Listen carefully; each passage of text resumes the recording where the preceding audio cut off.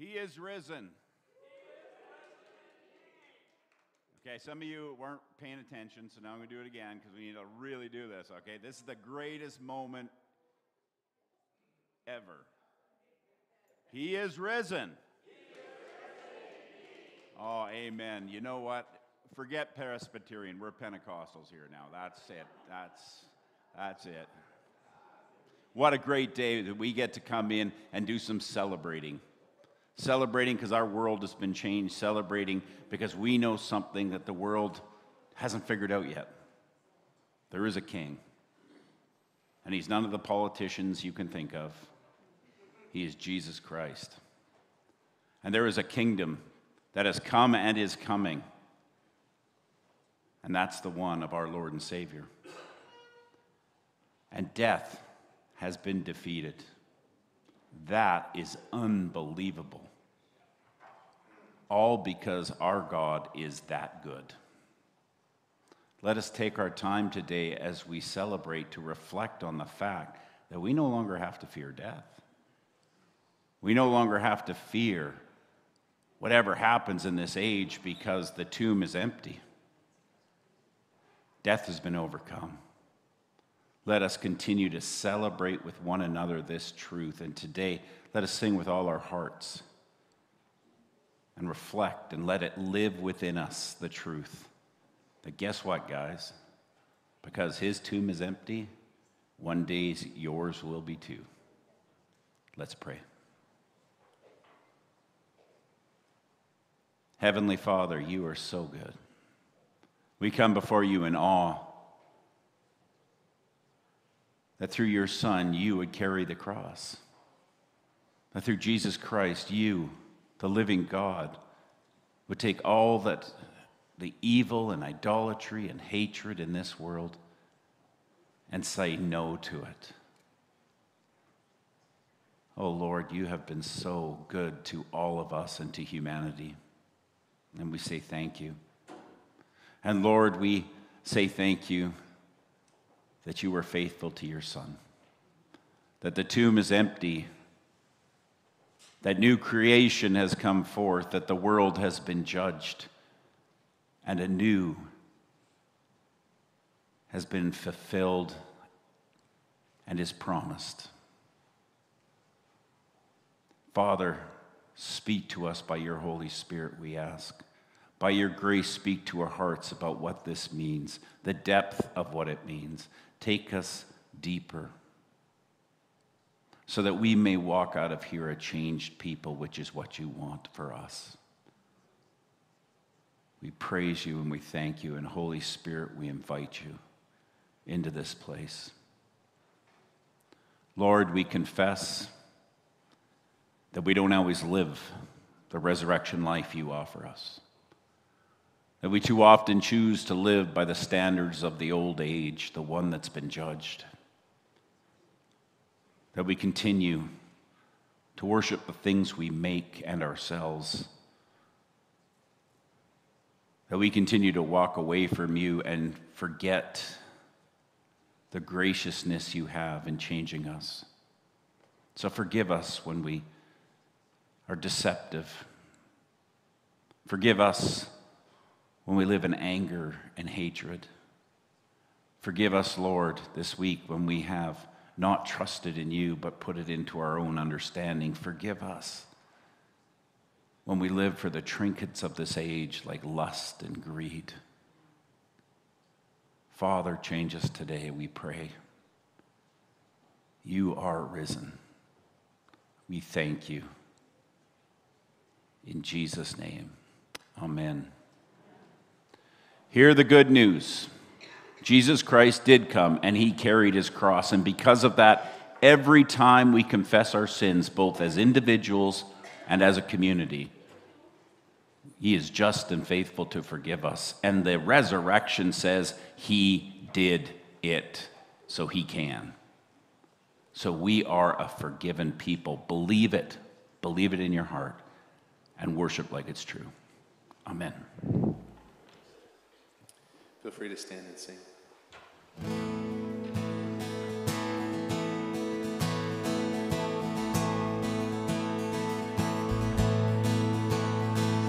Christ the Lord is risen today. I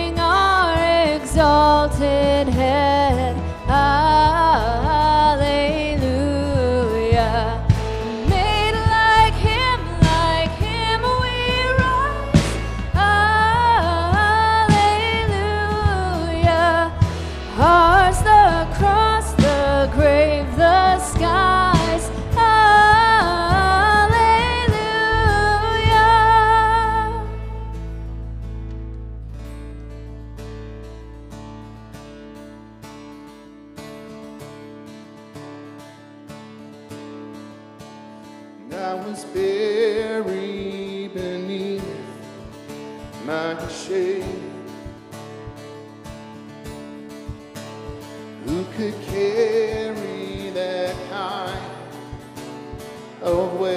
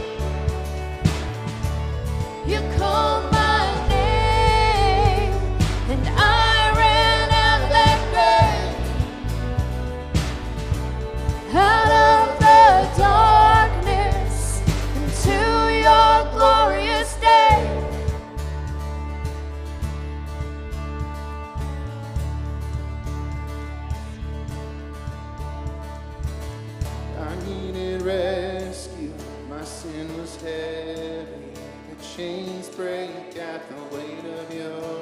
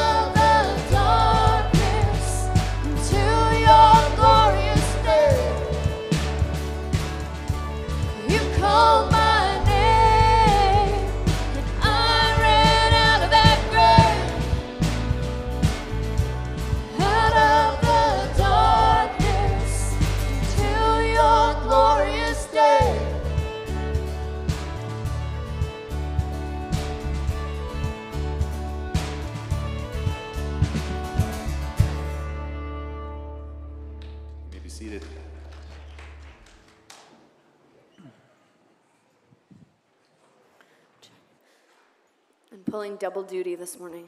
um, I just have a few quick announcements. Being Easter, we're just going to run through these quick. Um, first of all, this coming Friday night is our uh, worship night. So you're all um, invited to join. On top of kind of the regular contemporary worship, uh, Bob and Debbie are also going to be sharing a bit more in depth about their trip to Roatan. So you are all welcome to join us for that.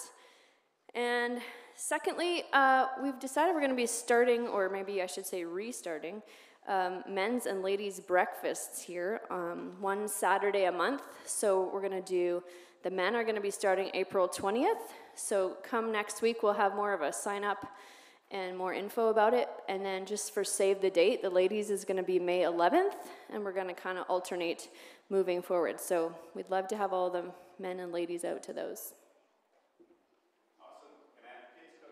Please.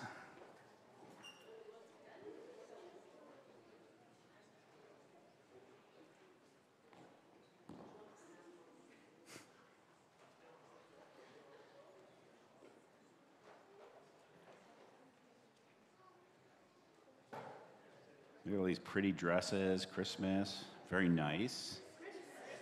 Easter. Are you yeah. Didn't somebody tell us one time Christmas is all year round if you let it? All right, we got we got one trailer coming up here.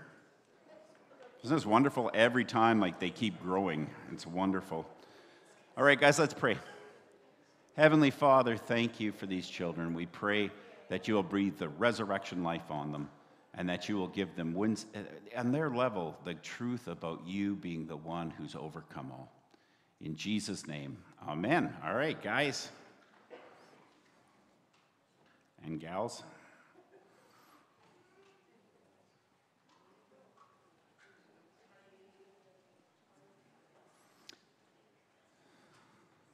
Do we have the slide for giving?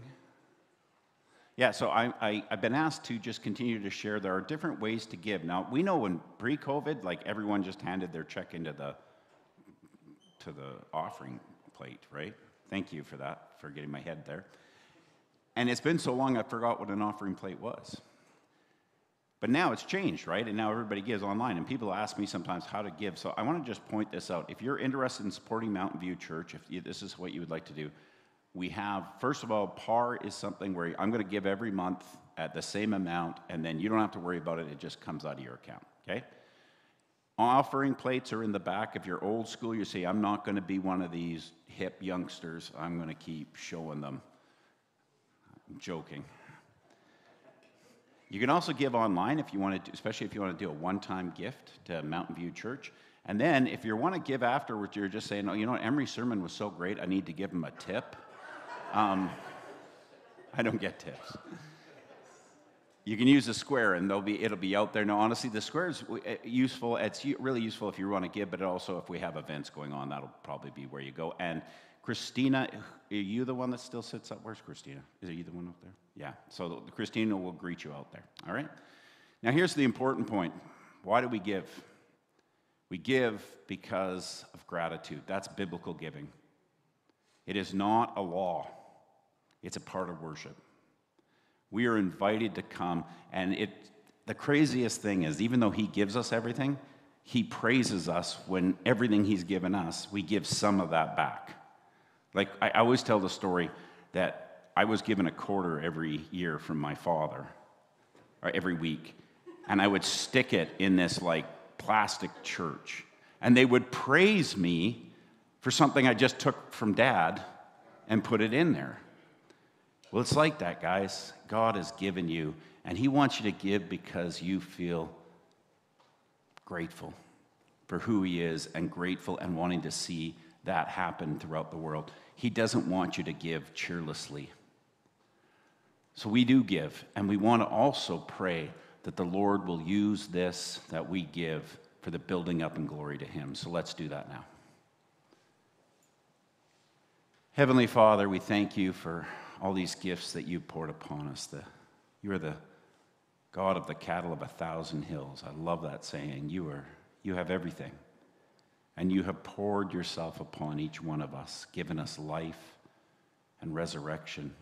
And you provide for us. We thank you.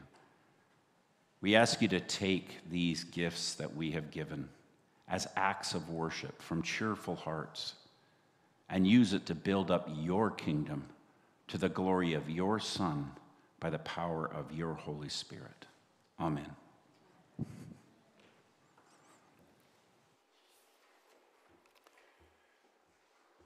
Bow your heart and your soul as we pray, as I lead in prayer. Glorious Savior, we paused yesterday to remember that Saturday was silent. The light of the world had become flesh and had been laid in the darkness and silence of a tomb. But you entered the grave to become its master, to seize the keys of death and Hades. You are the Lord of light, who descended into darkness and became the death of death. You are the living Word who died to reign as Lord also of the silence. So we no longer have to fear death or silence. Exalted and resurrected Lord Jesus, Today we remember and celebrate your triumphant resurrection. You are indeed Savior, Messiah, Anointed One, to be worshiped and praised by all nations and all creation. Let the earth sing, let your people shout, Hallelujah, Hallelujah. Because you are alive, Lord Jesus. Preaching the gospel is not useless it's essential. Faith in you is not futile, but fertile. We're no longer encased in our sins, we're fully wrapped in your righteousness. Those who have gone to sleep in you are not slumbering in the void, they are savoring your resurrection glory. We are less to be pitied than anybody, and more to be grateful than everybody. Because you have been raised from the dead, everything changes, Lord Jesus. You are the first fruits and guarantee of a whole new order, the new creation, dominion of redemption and restoration. The decay in our earthly bodies will give way to the delights of our resurrection bodies. The kingdom of this world has already become and will be fully manifest as the kingdom of our God and of you, Jesus Christ. You are already reigning, and you will reign forever and ever. You are working all things together after your will and you are working in all things for your good. All evil dominions, wicked authorities, and malevolent powers have already been defeated by you and one day will be completely eradicated by you. Hallelujah, many times over. Lord Jesus, your death is the death of death, and your resurrection is the resurrection of all things. The wonder, the glory, the grace. In light of this great hope, free us from the pettiness and emptiness of living for ourselves. By your compelling love, propel us into a life of living for your glory, in your story, with your joy. We are free, we are loved, we are yours. Hallelujah. What a Savior. Hallelujah. What a salvation. So, very, amen. We shout and pray in your most glorious and exalted name. Now, hear our congregational out loud prayer. Our Father, who is in heaven, hallowed be your name. Thy kingdom come, thy will be done on earth as it is in heaven. Give us this day our daily bread, and forgive us our debts as we forgive our debtors. And lead us not to temptation, but deliver us from evil. For thine is the kingdom, and the power, and the glory forever. Amen. The Old Testament reading this morning is from Isaiah 54, verses 1 through 10. Sing, O barren one, who did not bear. Break forth into singing and cry aloud, you who have not been in labor. For the children of the desolate one will be more than the children of her who is married, says the Lord. Enlarge the place of your tent, and let the curtains of your habitations be stretched out. Do not hold back. Lengthen your cords and strengthen your stakes. For you will spread abroad to the right and to the left, and your offspring will possess the nations and will people the desolate cities. Fear not, for you will not be ashamed. Be not confounded for you will not be disgraced. For you will forget the shame of your youth, and the reproach of your widowhood you will remember no more. For your Maker is your husband. The Lord of hosts is his name. And the Holy One of Israel is your Redeemer. The God of the whole earth he is called. For the Lord has called you like a wife deserted, and grieved in spirit, like a wife of youth when she is cast off, says your God.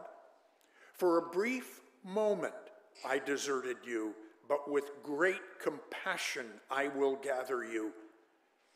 In overflowing anger, for a moment I hid my face from you, but with everlasting love I will have compassion on you says the Lord, your Redeemer. This is like the days of Noah to me, as I swore that the waters of Noah should no more go over the earth. So I have sworn that I will not be angry with you, and will not rebuke you. For the mountains may depart and the hills be removed, but my steadfast love shall not depart from you and my covenant of peace shall not be removed, says the Lord, who has compassion on you. The New Testament lesson is from Mark chapter 13, verses 28 through 31. No. Nope, sorry. Mark, uh, chapter 16, 1 through 8. That was last week, Emery. When the Sabbath was past, Mary Magdalene, Mary the mother of James, and Salome brought spices so that they might go and anoint him. And very early on the first day of the week, when the sun had risen, they went to the tomb. And they were saying to one another, Who will roll away the stone for us from the entrance to the tomb? And looking up, they saw that the stone had been rolled back. It was very large. And entering the tomb, they saw a young man sitting on the right side, dressed in a white robe, and they were alarmed. And he said to them, Do not be alarmed. You seek Jesus of Nazareth, who was crucified. He has risen. He is not here. See the place where they laid him? But go, tell his disciples and Peter that he is going before you to Galilee. There you will see him, just as he told you. And they went out and fled from the tomb, for trembling and astonishment had seized them, and they said nothing to anyone, for they were afraid. This is the word of the Lord. Thanks be to God. All right. Wow. What an honor it is to preach this. I got to tell you, I love this. This is my favorite Sunday. Not Christmas is close, but this one, this one's pretty big. Um, so I was looking for a story for this. Mark's got an unusual post-crucifixion narrative. I want to tell you that it's different than the other ones, um, and I'll explain that as well. But he really wants to emphasize something that uh, the others don't. The others give us actual resurrection scenes, people actually meeting Jesus, touching him, you know. But Mark's ends actually in verse 8, that the rest that's added, everyone agrees that that was added later because the ending of Mark, if it was verse 8, doesn't make any sense. And he ends with this story of an empty tomb and a guy telling him to go out and preach it, and then they're all afraid, and it just ends. But actually, it's beautifully written and it's incredibly powerful when understood. So I was thinking about a story, and this one hit me, and you guys probably have heard this, but I'm going to share it again because it's worth sharing. There was a little boy, and he had Down syndrome. And he was in a Sunday school class, and he was quite a bit older because his cognitive age level was not the same as his biological age. So he was with these littler kids. And he was asked by the teacher, she had one job for them on this Easter Sunday to go out with these little, um, you know, those eggs you used to open, the little plastic ones, you know what I'm talking about, and to go out and find something that, that reminds them of new life. It was spring, they got out there, and they all come back in about 25, 30 minutes later. And of course, little Betty gets it and she opens and there's a flower. And of course, and they, oh, yeah, and it's like the flower of life or whatever. I don't know what they taught. And then another one even brought in a living ant, and it was like, look at this. And they're like, oh, wow, yes, a new living being. And the theme was going on and on and on. And finally, they got to Timothy. And Timothy handed his egg in, and of course, he, she opens it, and there's nothing there. And of course, immediately, these kids, and aren't kids so wonderfully nice all the time? Right? They said, Oh, you are so stupid, Timothy. You can't even follow a basic instruction. And he was sitting there and he started to tear up, and the teacher's trying to be nice said, It's okay, Timothy. Did, did I not make myself clear? And he said, Well, you said we should get something about spring that reminds us of Easter, and I did that. And she, she air? And he goes, No, it's empty. The tomb is empty and there was dead silence. See, Timothy figured something out that that's the main point. That's the main point of this story. This is the most profound theological moment made by a young man with Down syndrome. In fact, my friends, this is the exact point Mark makes in his gospel account. Let's pray. Heavenly Father, we thank you for your living word. We pray that you will breathe life upon us, that you will give us eyes to see and ears to hear. Help us to let this speak into our soul. In Jesus' name, amen. So I told you, Mark's gospel is a bit different. It is. When you get to the ending of all the Gospels, they're all different because they have very different ways of writing. Okay? They have different literary um, needs to be fulfilled. It isn't, by the way, none of them are written as if they're newspaper accounts. They're all crafted within the whole gospel that they were writing in. And Mark's, we'll get right into it, has the scene which they all have of the women coming to anoint the, the, the Jesus with the, the oil and the spices. And it was Sabbath past. They wouldn't have been able to do it right then because Sabbath, but it was right after that, so it's right in the morning. And they're coming in. Mary Magdalene, Mary, the mother of James, and Salome brought spices so that they might go and anoint him. That was very normal. That was saying the fact that they're going by themselves has always been an enigma to me in this story because they couldn't have moved the rock, which they actually kind of. But you know what? When you're grieving, I, I've come to the conclusion maybe this is just humanity. You know, you grab your stuff, you're going to go do it, and you go halfway there, and you go, oh, oh, who's going to move the rock? Isn't that interesting, though? We can't move the rock.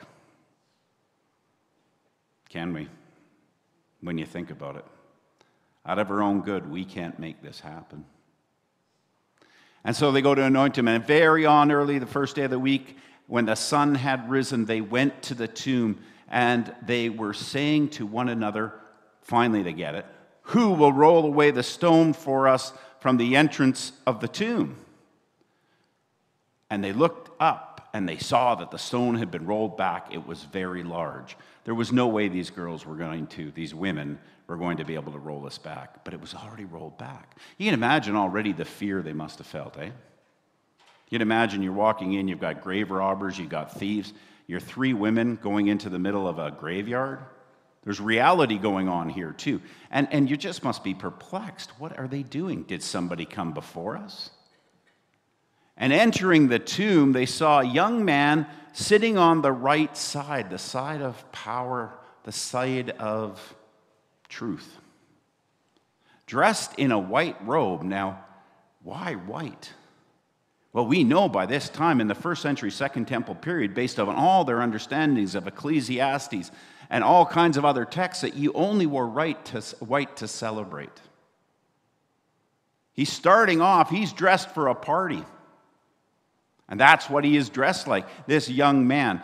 It's interesting, he, they don't give you the glow in the dark moment with the angel here, do they? He's trying to tell you something different. This young man is sitting there and he's wearing this white robe, and they were alarmed, do you think? You imagine going to see Aunt Jane's grave, and all of a sudden some guy sitting there in a white suit and says, Hey, it's all good. Yeah, okay. And he said to them, Do not be alarmed. Do not be afraid. That's the actual word. Do not be afraid.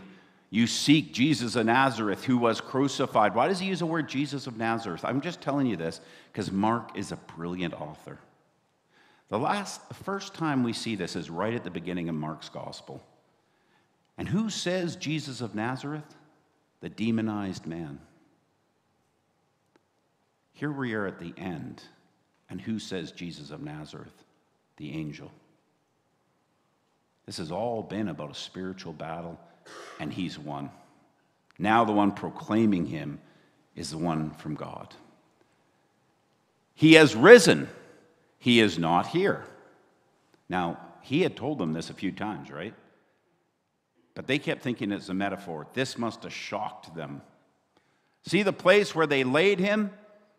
But go, and here's the greatest moment in the Gospels, I think, one of the greatest moments. First of all, and I don't believe any of this, and so please don't throw anything at me, but women were not considered able to bear witness in that time. They were not allowed to stand in a court, they were too emotional. I can't believe where they got that from, but anyway.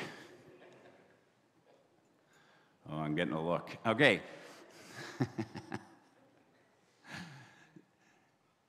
Yet here this man sends women to preach. You see that? To proclaim. If I was writing this book and I was making this up, I 100% wouldn't write this. That's why I know it wasn't made up. Because no one would have taken this seriously, but who is the first person that he sends out? A woman. Do you think he's trying to change things? And he says, See the place where they laid him, but go tell his disciples and Peter that he is going before you to Galilee. There you will see him, just as he told you. So, this is the story. There's a resurrection. She's got, told them even where to go meet Jesus. Wow. So, what did they do? And this is the part where it's a strange ending for people. And they went out of the tomb, and, and no, they didn't just go out, they booked it out of there. Okay? They fled. And I'm going to tell you, if I just saw somebody buried and I came back and he was out of the ground and some guy's saying, there's just this empty coffin, I'm getting out of Dodge right then. So do not judge these people. Because guess what in the first century they knew? Dead people stayed dead, just like we do. For trembling and astonishment had seized them, and they, were, they said nothing to anyone, for they were afraid. What? That's the end? Why would that be the end? Well, we know that that could have been the beginning, but we know they do actually go and tell in the other Gospels, don't they? And the listeners of this would have known the original church that they had done these things. So why leave it there?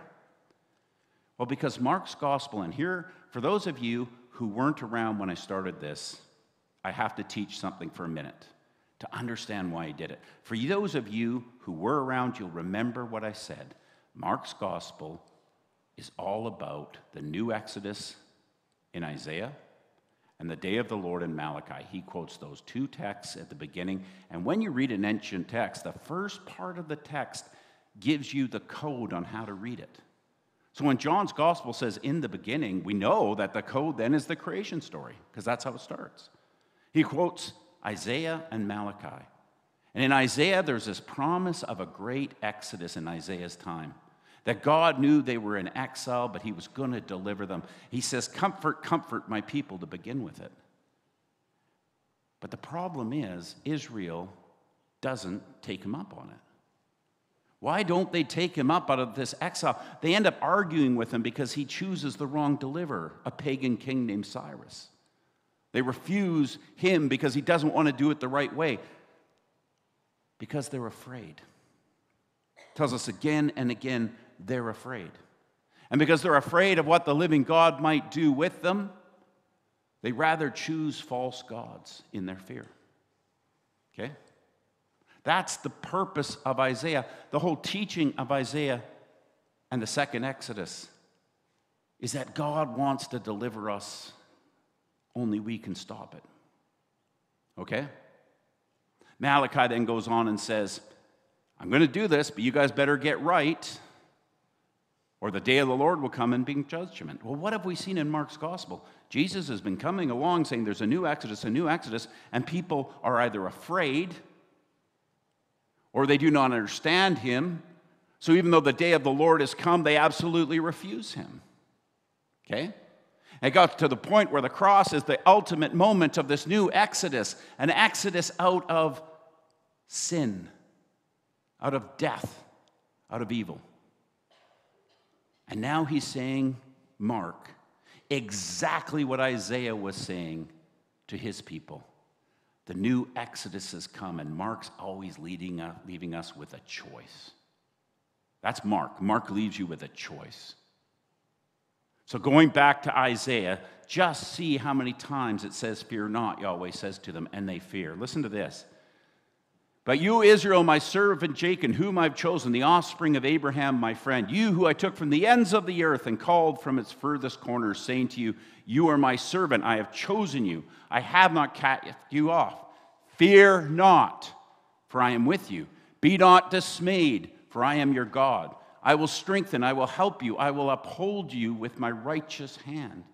Behold, all who are incensed against you shall be put to shame and confounded. Those who strive against you shall be as nothing and perished.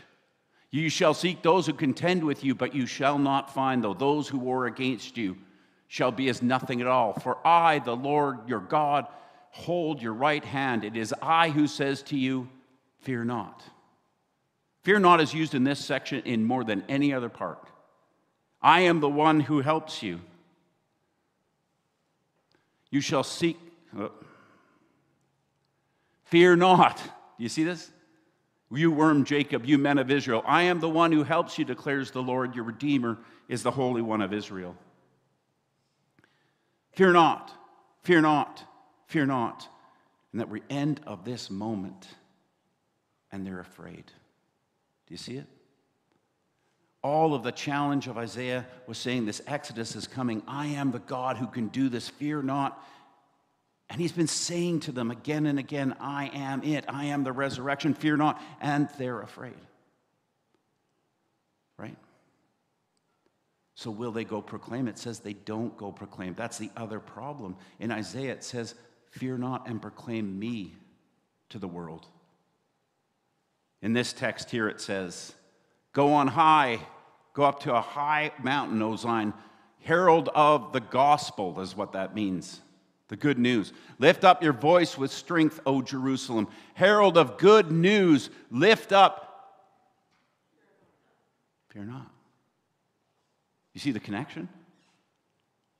Say to the cities of Judah, Behold your God. Well, they are right there, and behold their God. And now the challenge is are they going to be like Isaiah, where they're afraid to share this because they're afraid of who this God is, or do they trust this God who's just said, I'm going to deliver you? Well, that's the ending of Mark. Mark ends it with this without a resurrection appearance because he wants us to hear this because it's written for us and say, What are you going to do? Now, thank God they all knew that these women overcame their fear, didn't they? They know these women had the courage. But Mark's saying, Here's what can stop it for you fear. Fear of not trusting God. So you have this empty tomb, and you have this challenge will you be afraid? Or will you go out encourage, and share it. Well, what does it all mean? That's the challenge. By the way, that's beautiful writing. You'd almost think the guy was inspired. That's amazing writing, by the way. And you say, well, Emery, how we couldn't see that? Well, we're not first century Second Temple Jews. They would have seen that. They know how to read this stuff. I'm telling you right now, what does it mean, though, today? Well, the first thing it means is death is no longer it. To quote the great Karl Barth, the goal of human life is not death, but resurrection. That's the first thing it means. How many of us are living our lives as if death is the end? How many times are we told to live our lives? You only live once, right? I think Jesus went, Not me. We are taught to live as if this world is it that what you get out of this world is it. But if this is true, this isn't it. That this is just a small microcosm of a whole bunch. That's incredible enough, right? But there's also one other part in this that I can't think so profound that the empty tomb is what we all have to face. I think Mark wrote this this way because all the people of his generation who had met the risen Christ were dying. And everyone that was coming to believe had to believe. Someone come up to him and said there was an empty tomb. Do you see? Just like those women. The faith comes down to believing in a living Christ that's out of a tomb. What did Jesus say when Timothy touched his side? How better for those who believe by faith without seeing? Well, everyone has to do that. So he leaves it with an empty tomb. Do you see that? Karl Barth said Christians do not believe in the empty tomb, but in the living Christ. Well, he obviously doesn't mean they don't believe in the resurrection. What he means is our main focus is not a tomb that's empty, it's what that means. Because when you believe there's an empty tomb, you have to then admit that God's alive, that He's not dead. The empty tomb points us to where we're supposed to have faith, Jesus Christ. People can get this messed up. Oh, I trust in the empty tomb. Why? You need to trust that this God then is not dead. Do you see? So, why fear? This is a question because we haven't really taken serious what this story means for the world. We have made it a children's story. Guy pops down, goes into heaven, nice. Oh, he comes out, he's nice. He gives us a hug, gives us a noogie. Oh, everything's nice. What this means is the world has been judged. This world as it is with its death has been judged. It means nothing can be the same. Pannenberg, and one of the best quotes of all time the evidence for Jesus' resurrection is so strong that no one would question it except for two things. First, it's a very unusual event. And listen to the second one. And second, if you believe it happened, you have to change the way you live. Why fear? Because you have to change the way you live. It means living for this world with its codes and its desires and its appetites has been judged. The resurrection means this world is going to get a remake. This world is not it, and that means all of our arrogance and all the things we trust in this world are no longer worthy to be trusted. Well, that should make you a little afraid. It means the things I value may not be good. Why were they afraid? They were afraid, number one, because the tomb was empty, but they also knew what this meant. Everything they knew to be true death, corruption is all ended. And this whole new world has come, and now what do you do? If the tomb is empty, folks, then the way this world lives, that with its focus on trying to get out of death, is no longer the ultimate end. That means you got to reconsider why you live. Do you see? And that's really, really hard for people, especially if they like the way they live. Do you see that? Why afraid? Because if this is true, it means I am the Lord. That means Jesus Christ is King. It means everything has changed. And you got to take Him serious, not yourself. And I don't think we like that. My daughter, God bless her right now, I'm trying to get her to drive, okay? I love my daughter. And I'm, I'm going to get in trouble for this, but you know, sometimes you have to suffer. And I keep asking her, why aren't you getting your L? And I know deep inside it's because she's afraid of the change. A little bit. A little bit. She's not a big change fan. That's a microcosm of what it means when the resurrection comes. Everything has been changed. It means everything we thought was true. And if you don't think you become afraid when that happens, think in your life when your life's fallen apart and everything you had trusted in falls apart. How do you feel? And the problem is, of course, this fear comes because it is such a radical message that people in the world will shame you. The fear is from other people, isn't it? I'm going to tell you right now, please, Christians, hear me out, just so there's no misunderstanding. Becoming a Christian doesn't make you popular in this world. If you're going to be a biblical Christian, okay, you're not going to be picked number one on every team. You will be mocked, you will be ridiculed I promise you this Western Christians get so angry if they change a Starbucks cup and don't put the cross on it. We are so lucky. Let me tell you, if you really believe in the resurrection and change your life, you're going to offend people because you won't go after the same things as them. You will be shamed. How do I know? Because they, Jesus told us that's going to happen. Right? And what about Paul in his Gospels? I just have to go to, to Romans. For I'm not ashamed of the gospel, for it's the power of God for salvation to everyone who believes, to the Jew first and also to the Greek. Why would he say that unless the world wants you to be ashamed? What does he say again in Corinthians? Can't read that. For Jews demand signs and Greeks seek wisdom, but we preach Christ crucified, a stumbling block to the Jews and folly to the Gentiles.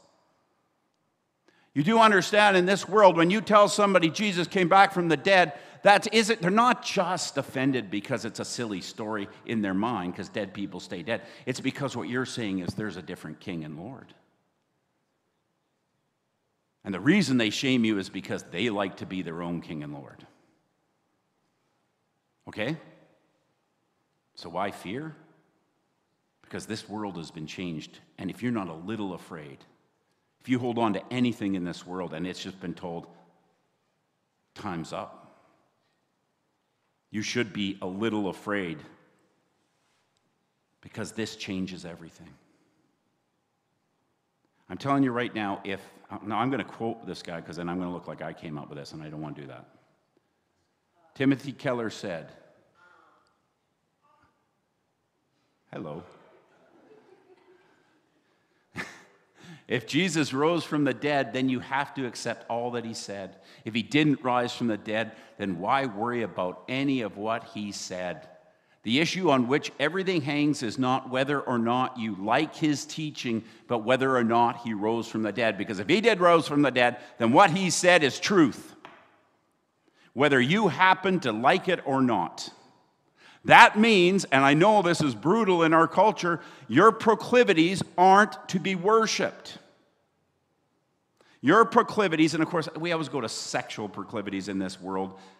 What it means is all our proclivities, all of those things are laid to question because he's the resurrected king. That's what the world's going to be like. I always say to people, you like Jesus, you like God.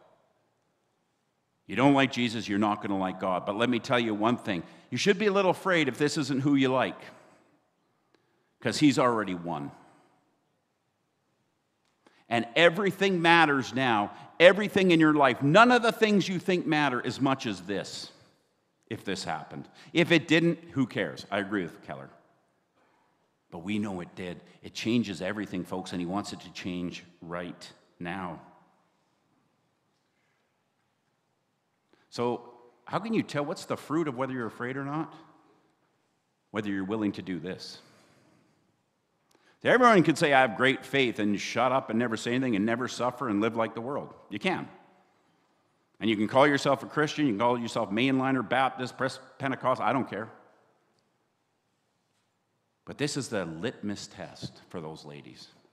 They had to go tell these men, people who weren't allowed to tell anyone anything, a story that made no sense that Jesus Christ is risen. And they had to go and do that for the same reason Israel during Isaiah's time did, because God is the center part of the story, and we're called to share that. And He has done great things.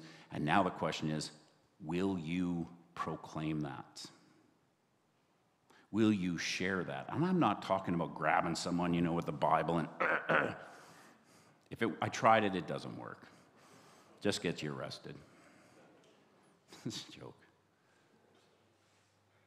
But we're called to proclaim this truth because it is the ultimate truth in the world. We who have to believe in the empty tomb by a testimony of another, they from the angel, somebody had to tell us that. None of us have had the resurrection touch. None of us had the resurrection Christ come in our room. We have to believe it, don't we? And then the question is whether we believe it, is whether we'll go out and share this, because this is the most profound thing that's ever happened. And here's the crazy part I wouldn't have picked us. I'm one of you, and I know how much and how weak we are. But this God's so incredible, He chooses us. Will we proclaim? It depends how afraid we are. little, what's his name? Matt? Matthew? Timothy. They had to give him a biblical name and get mixed up. Little Timothy, he had a choice. And he proclaimed. And he got mocked. And he became, to me, an incredible vision of what we're supposed to do. He didn't grab his friends and say, You got to believe this or you're going to hell. He didn't do that. He didn't grab them and say, This is the most common sense thing ever to do. He had no skills. He was no theologian. And yet he did this moment where he opens this egg that's empty. And he says, New life comes out of this. Wow. The most incredible thing is it took a courage of a child like that to teach someone like me A, how simple is and how important it is. You see, because Timothy died six months later from health complications, being a person with his disease. And it was funny because, as they say, the church is packed. Everyone loved Timothy. He just, you know, typical Down syndrome, just a wonderful, happy person. And it was time then for all of them to do their thing, and then they were all welcome to come up and say words. And 12 little grade seven, or sorry, seven year old kids came down, and each one of them had an egg, and they opened it at his coffin. And they made sure everyone saw it is empty, and they put it on top. He was not afraid. He impacted, and those kids will never forget that, and it'll change their life. That's the question Mark wants to leave us today. He is risen, thank God. He has changed the world. Do we like that? Or does it freak us out? And are we willing to go out? Now, some of you are saying, Emery, I'm not a theologian. Doesn't seem like you have to be. He picked these young ladies. None of them were theologians. All it seems to say is, tell this story. And all they had to do was, He is risen. He picked these women. Think about this for one second. Without women preachers, we would have no knowledge of the resurrection. Think about that. If that doesn't make you pause, nothing will make you pause. That he chose them to be those. If he can choose those people in that time, he can you choose you today, I promise. And the good news is we don't have to be all glitz and glamour. We don't have to put on a show. He already did. That cross and that empty tomb is the greatest show you'll ever see. Because I tell you the truth, it changes your life now and forever if you believe it. The power of, our, of the gospel is not in our presentation. Only the Holy Spirit has the power to open heart, a heart. Strategies, methods, and presentations are merely tools. We just get to go and share. The incredible news right now is I'm going to tell you if you believe in Jesus Christ as your Lord and Savior, because that tomb is empty, yours will be too. Live like that's true and share this empty tomb with whoever you run into if you believe it. Don't be afraid because they might hear you and have their life changed like those little children. Let's pray.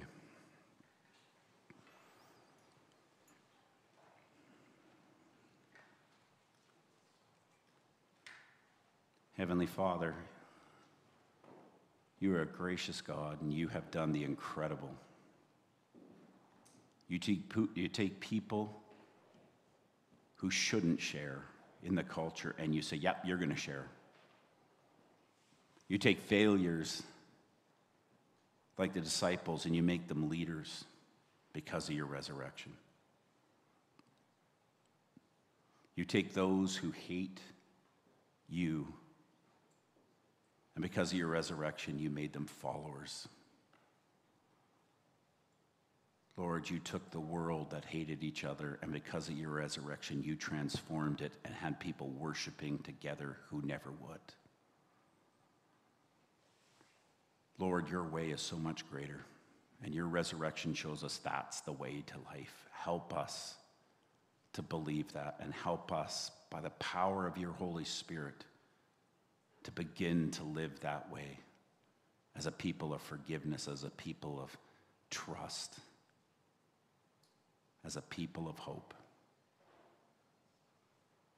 And may we, in our own way, when we get the chance, share this incredible truth that the world isn't what they think, because there is an empty tomb. And Jesus, the living God, has gone out from there to Galilee and throughout the world. In Jesus' name, amen. Feel free to stand and sing.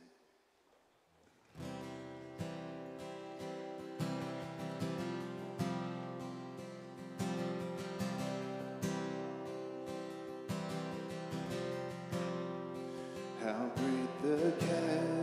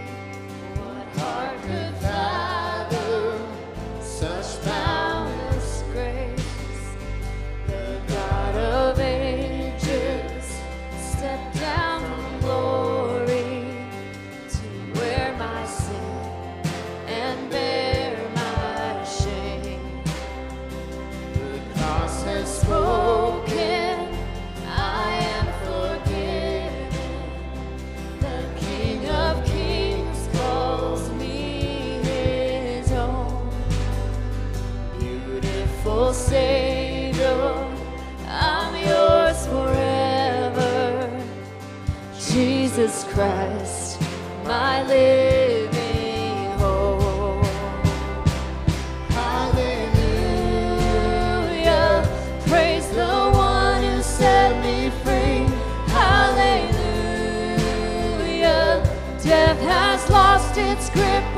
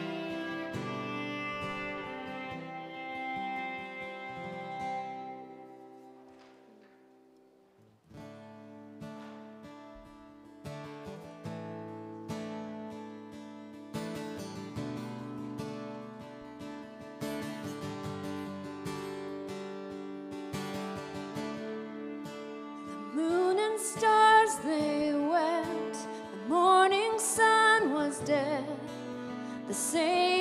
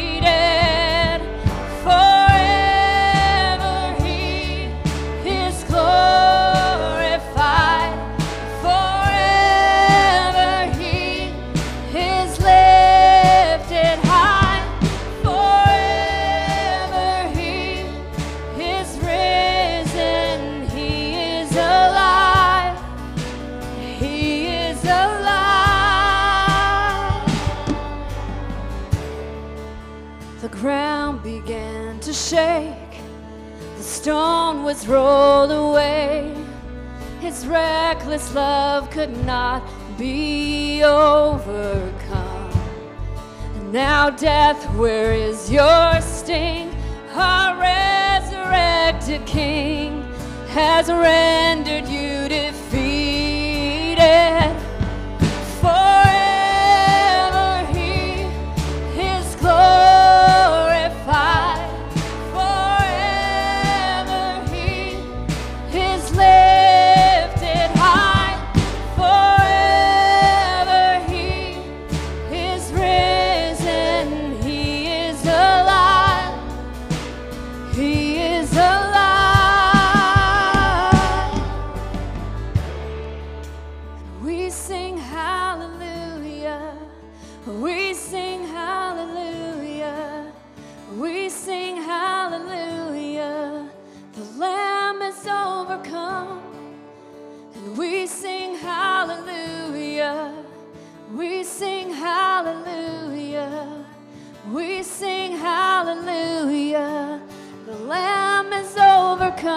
Sing. We sing